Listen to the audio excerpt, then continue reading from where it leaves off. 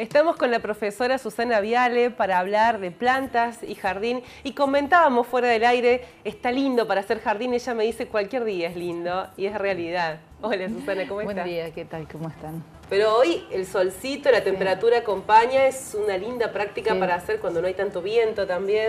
Sí, sí, el jardín eh, y el trabajo con las plantas es lindo, digamos, cuando el tiempo está lindo, pero también es lindo cuando no está lindo y uno tiene que despejarse de trabajar en la oficina y demás, entonces es una buena terapia también.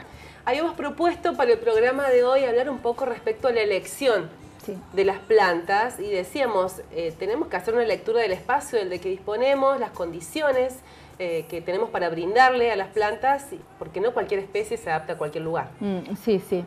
Sí, en realidad nosotros propusimos este tema porque cuando uno va a elegir una planta para ponerla en un lugar, uno está eligiendo una especie que va a estar en ese lugar, si es un árbol va a estar 20, 30 o 40 años, si es un arbusto va a estar varios años. Entonces, cuando uno elige la planta que va a ese espacio, tiene que pensarlo y elegir algo que se adapte al lugar. Entonces, por un lado, uno tiene que elegir una especie que se adapte a las condiciones que nosotros tenemos. A veces la gente se entusiasma y viaja al norte y se trae plantas de allá, pero son plantas que ellas requieren calor. Y cuando vienen las heladas de la zona nuestra, Ahí es donde empezamos a tener la mortandad de plantas y las desilusiones. La frustración. La frustración. Entonces uno tiene que elegir plantas que demanden condiciones similares a las que ofrece nuestra región o a la región donde uno va a colocar una planta. Ese asesoramiento deberían brindarnos, por ejemplo, en un vivero cuando vamos nosotros a eh, buscar. Sí, claro. Lo que pasa es que por ahí la gente viaja a distintos lugares y bueno, un viverista del norte de Salta o un viverista al, revés del sur de Bariloche, por ahí no conoce exactamente cuáles son las condiciones de Río Cuarto. Entonces uno tiene que eh, tratar de interpretar un poco lo que ellos comentan de la demanda de las plantas y tratar de ver si acá se va a ajustar en Río Cuarto. Si no, realmente después vienen frustraciones y es una lástima.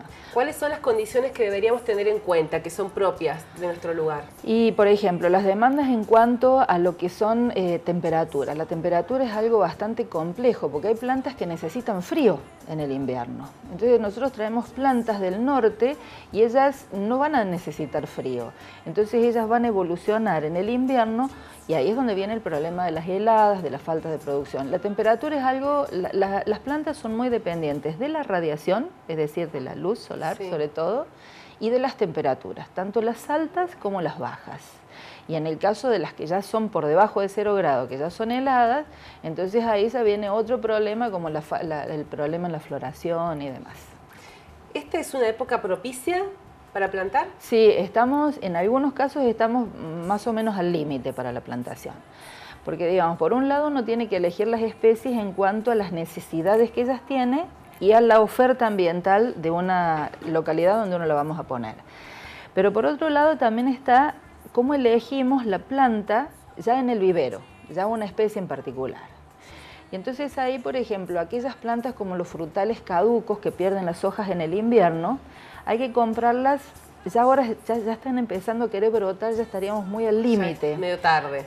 Casi, o sea, lo mm. mejor sería comprarla en mayo, junio, julio, cuando ellas están en receso, y la planta ahí se compra a raíz desnuda. a raíz desnuda. A raíz desnuda, que esa es una de las tres modalidades que yo les voy a comentar. Estamos viendo la imagen acá. Entonces la planta tiene que ser así, a raíz desnuda. Y tiene que ser una planta que en realidad tiene un año. Cuando ya se pasa el tiempo, el viverista la tiene que envasar y entonces uno ya no puede elegirla. Fíjate que es muy interesante ver que la raíz sea bien desarrollada, que no tenga nódulos, que no tenga agujeritos en el tronco. De los lotes elegir siempre las mejores, pero sobre todo uno le tiene que mirar mucho la raíz. Porque uno a veces no presta atención, pero abajo de la tierra existe una parte que es tan importante como la de arriba. Y ahí es cuando nosotros la podemos ver. ¿Esto es para frutales específicamente? Sí, para frutales y para aquellos forestales que pierden la hoja en el invierno. Ahora, por ejemplo, los limones, perdón, los cítricos en general, limoneros en particular, son frutales, pero ellos no pierden la hoja. Entonces ellos se compran con una especie de maceta orgánica, que es como una envoltura en totora o en totora o en algunas bolsas arpilleras Y entonces uno las puede, acá por ejemplo hay, hay, un cítrico que son envueltos en totora o en unas bolsitas que son degradables. Entonces esto se puede colocar en cualquier época del año, en el caso de los cítricos lo mejor es esperar a que pasen las heladas y se puede colocar con la maceta. Directamente en la tierra, así como está. Se degrada, perfectamente, sí. ¿Y cuál sería la época para plantar este tipo de...? Para poner un cítrico, por ejemplo, sería conveniente ahora esperar a que pasen las heladas y después colocarla.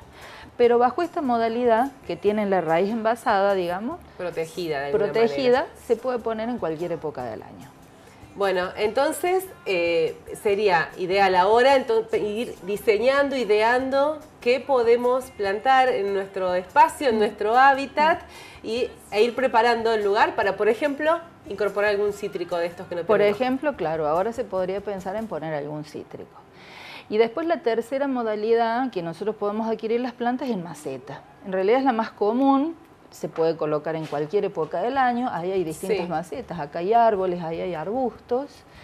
Eh, el, prendimiento colocado, colocando las plantas que vienen en maceta es muy alto, es fácil de manipular, pero bueno, eh, un frutal hay que comprarlo a raíz desnuda, un cítrico hay que comprarlo con la cepellón y las otras hay que comprarlas con maceta. O sea, cuando uno va a comprar un vivero, uno tiene que tener claro qué es lo que quiere y comprar lo que uno quiere y no lo que le quieren vender. Para eso sirven estos espacios, para aprender de los expertos. Gracias, Susana. Te esperamos la semana que viene. ¿Cómo no? Hasta la semana que viene.